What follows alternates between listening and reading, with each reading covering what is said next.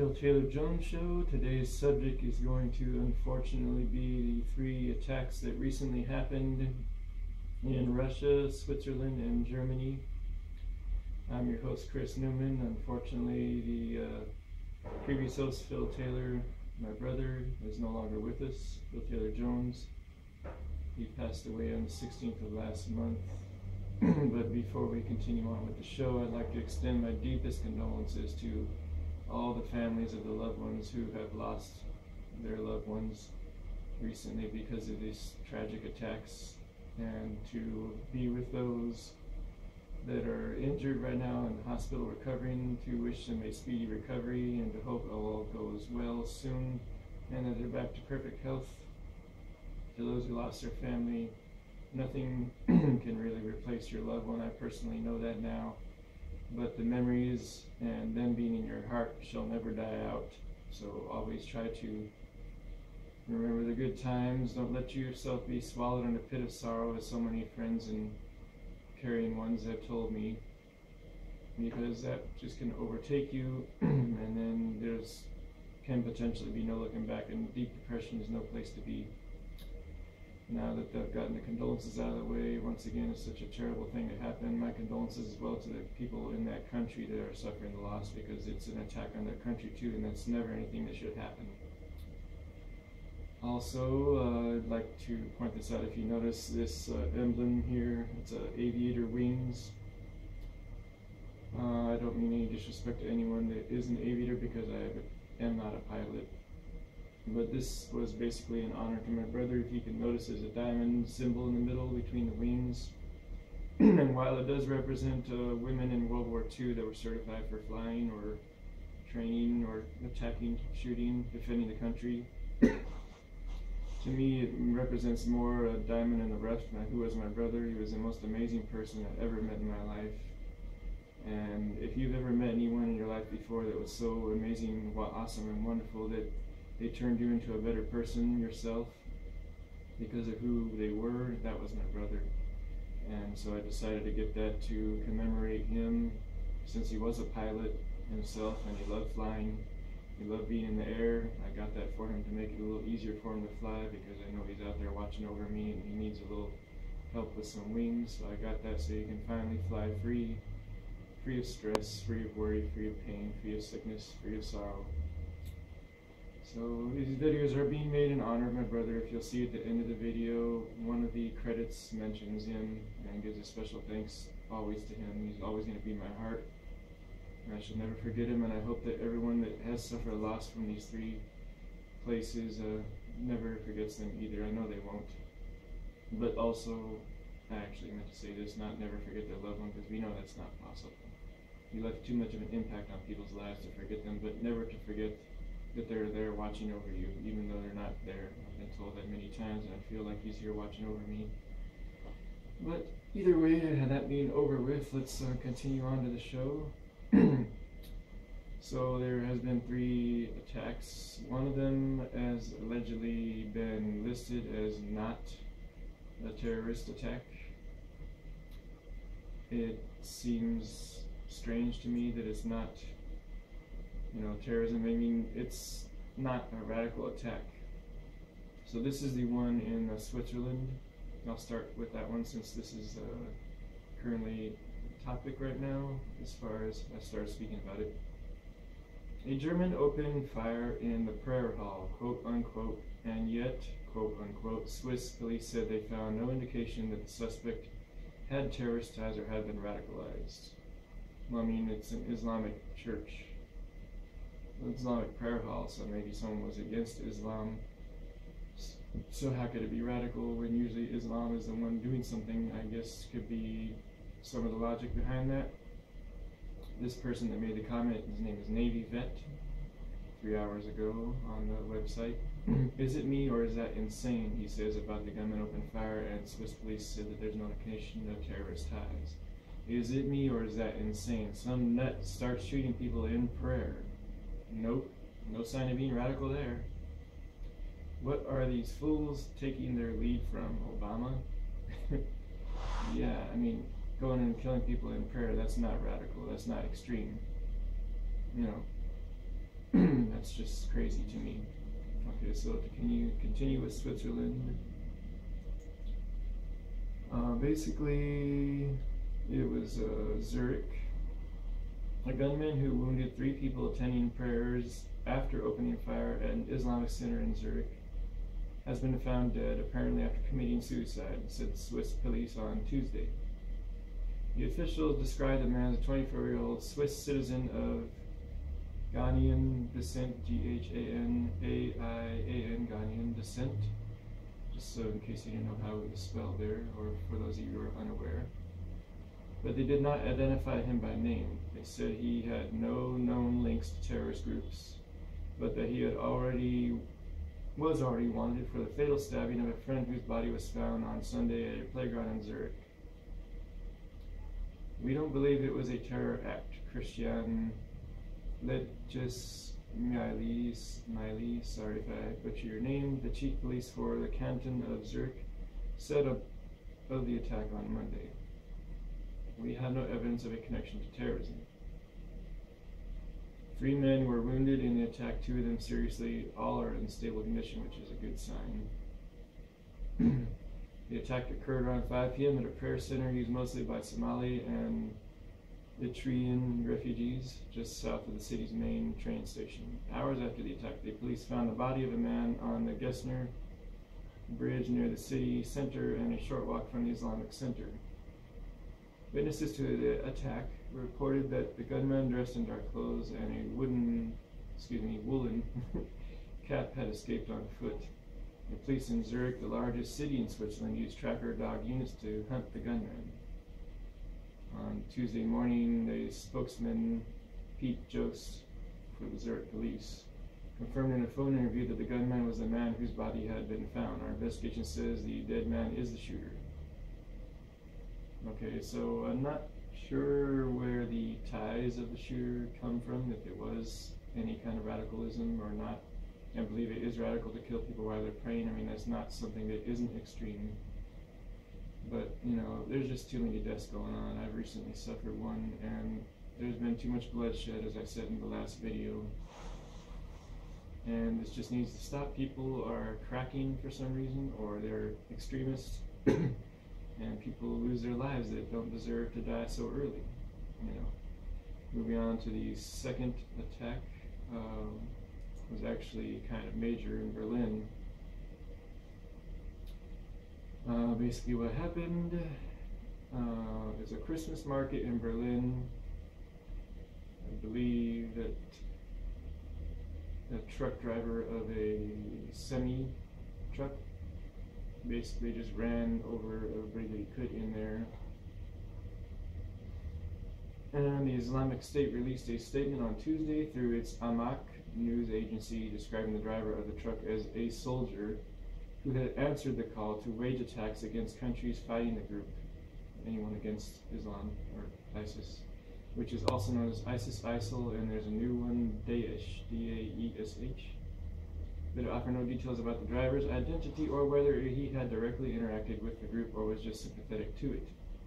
So I don't know the also with this case where the person originated from, but the person did, if I can find this quote here.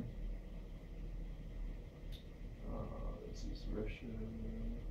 Let me see, actually, I the wrong one here. well, it was a terrorist attack, obviously.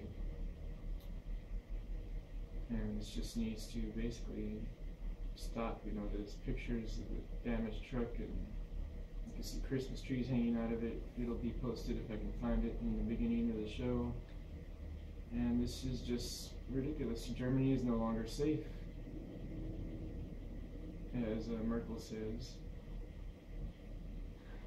the people blame her for allowing all these refugees in the country, which is supposed to be humanitarian per se.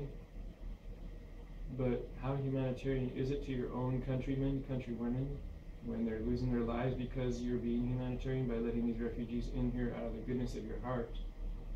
And basically hurt the heart of the loved ones that are killed by your supposed humanitarianism. You know it's just not the right thing to do. you know, you already can't take care of your own people as it is, and you let people come here that can potentially be terrorists and kill your own people. This is not the first time Berlin's been attacked or Germany's been attacked as a whole. There's been other incidents. And this is just terrible that this is happening.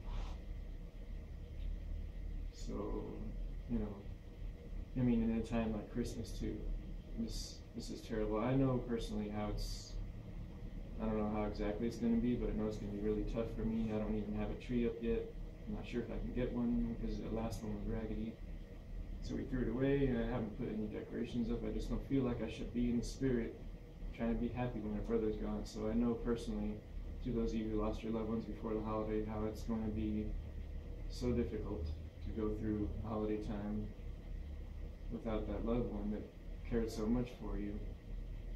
No one should ever have to suffer that through that. I wouldn't wish this losing a loved one, someone so close like a best friend like my brother was to anyone, even the worst enemy if I had one. So that's just terrible that all this stuff is happening. I mean, three incidents within days of each other. Now on to the second one. Let me see, Islamic Center. I did that one already. The third attack we already covered of Switzerland. Um, excuse me, just a moment. Switzerland, and we covered Berlin, Germany. And now the third one, which, which is a Russian ambassador to Turkey, was assassinated at an Ankara art exhibit on Monday evening by a lone Turkish gunman shouting, God is great, aka Allah, Akbar, whatever you say, however you say. And don't forget Aleppo, don't forget Syria. In what leaders of Turkey and Russia called a provocative terrorist attack. The gunman, surprisingly, was a police officer. Described by the Turkish officials as a 22 year old off duty police officer, also wounded at least three others in the assault on the envoy, Andrei G. Karlov, which was captured on the video. Turkey, Turkish, excuse me, officials said the assailant was killed by other officers in the shootout. The assassination and embarrassing security failure in the Turkish capital forced Turkey and Russia to confront a new crisis tied directly to the Syrian conflict, now in its sixth year. Longer term implications for the Russia Turkey relationship, which had been warming recently after plunging a year ago, were not immediately clear, but some analysts played down the notion that the assassination would lead to a new rupture, it could conversely bring the countries closer together in a shared fight against terrorism. Vladimir Putin, President of Russia, said on Russian television that Mr. Karlov had been despicably, despicably, despicably excuse me, killed to sabotage ties with Turkey. He spoke with the Turkish President Recep Tayyip Erdogan, excuse me if I'm butchering the name again, by phone, and the two leaders agreed to cooperate in investigating the killing and in combating terrorism broadly. Uh, it's just too much, too much craziness going on, too much terrorism, too many deaths. You know, what are we trying to do? Population control in, in the whole world or something? You know, people deserve to try to live out their lives without getting it destroyed and taken away, ripped from their their loved ones, just because you have some kind of crazy notion in your head that someone that's supposed to be a god to you is telling you to kill other human beings. I mean, how is that religion? That's more like hypocritism. Someone's supposed to be a god, supposed to be agape love or whatever, or looking out for you and they're telling you to get rid of people that oppose you. That I don't think a, a, real God would do something like that. If there was such a thing, I personally don't believe in it. My brother didn't either. It just seemed too fantastic, and then there's always the gap between the millions of years the Earth was created, and, but billions of years ago dinosaurs were created. So what? How do you explain the time gap? Maybe I shouldn't have actually mentioned that in the show because I don't think he ever did. I just put it out there, and I'm not very good with the words as he was. I need to be a bit more tactful. I apologize for even discussing religion here. I usually try to keep that out of stuff. It's just that uh, it kind of slipped out the way it was. You know, we, my brother and I, do believe in the good things that come from religion. The golden rule, you know, doing to others as they do as you would have them do it to you, treating people with kindness and respect, trying to help others. So I did get that much from religion when I was religious and then decided to leave it. But it's not to step on the toes of anyone that is religious. If you believe in someone that is there for you, you know, as they say, the at places, all places at all times. I forget the actual word for omnipresence and everything. If you believe that someone's out there watching out for you, then you know go for it. I, that's great to have someone that in your life when other people can't be there at all times to speak to and to support, have comfort and support and everything. So I kind of dipped off the subject there. Let me continue on a little bit more. Trump is blaming terrorism for all these ahead of time. Uh, trying to gain ground for his campaign that he's always right about the terrorism. I guess. I mean, it's kind of obvious. How can it mostly not be terrorism when mostly everything that happens is an attack turns out to be terrorism? But uh, that's just the way things go.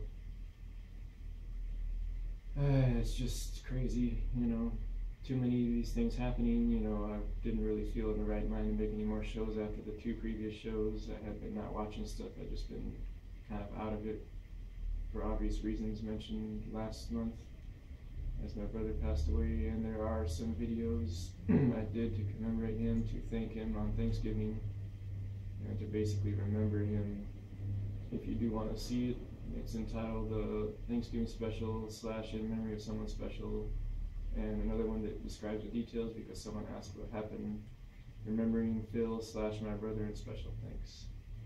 That being said, there's too many people losing their loved ones recently, and it's just not right. You know, there's too many things going on. Trump says the civilized world must change thinking. You know, you can't say that because the ones that are doing the killing, I'm not sure if that's who he was referring to. If he wasn't, then I'm wrong in saying this. But you can't tell the civilized world to change their thinking when the civilized ones are the ones not doing the killing. It's the uncivilized ones that are doing the killing. Either way, again, uh, deepest condolences, and my brother, if he was here, would do the same to all the victims' families and to those that are in the hospital. May they recover well. I'm repeating myself, but it just needs to be said. You know, this is terrible that these people are having to go through this. I said, and I am repeating myself, nobody should have to lose their loved one early. I know personally how that is. And it's a terrible thing to go through. You know, it's like something missing in your heart that used to be there. It's filled with that person's spirit and all of their mannerisms and everything, all of their love and all the memories you have, but that person isn't physically there. You know, it's a terrible thing to go through to possibly next see them inside a box or see them in powder form. That's just the worst thing you can go through. So my condolences to the families and the victims. So anyways, I guess that's the show. I can't really think of too much more to say. Other than I always dedicate these shows to my brother, Phil Taylor Jones, May 27, 1958 to November 16, 2016. She left the world too early, as well as other people who have. So that being said, you know, try to maintain some kind of air peace in this crazy mixed up world that gets crazier every minute. And keep that smile on your face too is a direct contradiction to all the craziness in the world. Don't let anybody know that they can take your joy away. Smile through all the trouble. Try to make it the best you can in this world because we only get one life to live. We might as well try to be the best person we can be until the very end. As you would always say to end the shows, dump the hate and increase the peace, especially nowadays with all this these attacks going on. This is just going getting out of hand. It's been out of hand for a long time. So thank you for watching. We hope to see you next time here on the Phil Taylor Jones Show. Take care everyone. Happy holidays. Have a wonderful Christmas and New Year's celebration. I shall try to do the same myself. I do have supportive people, which before I end the show, I would like to thank uh, everybody that has commented on the video, videos, excuse me, that uh, put out about my brother. They've been very supportive and loving and kind, and I do appreciate it. A new shout out to Liz Mason, one of his followers of the show, said he was a very sweet person, left some nice comments. I do hope to actually talk to you later on and look forward to speaking to you. You were such a kind person, really supportive of us. He will want all the support I can get, you know, for me. So I did leave you a Google Hangout message if you saw my reply to your comment. I hope to talk to you soon. Thank you everybody for watching. Thank you everybody for supporting. Thank you everybody for commenting. Take care now. Bye bye.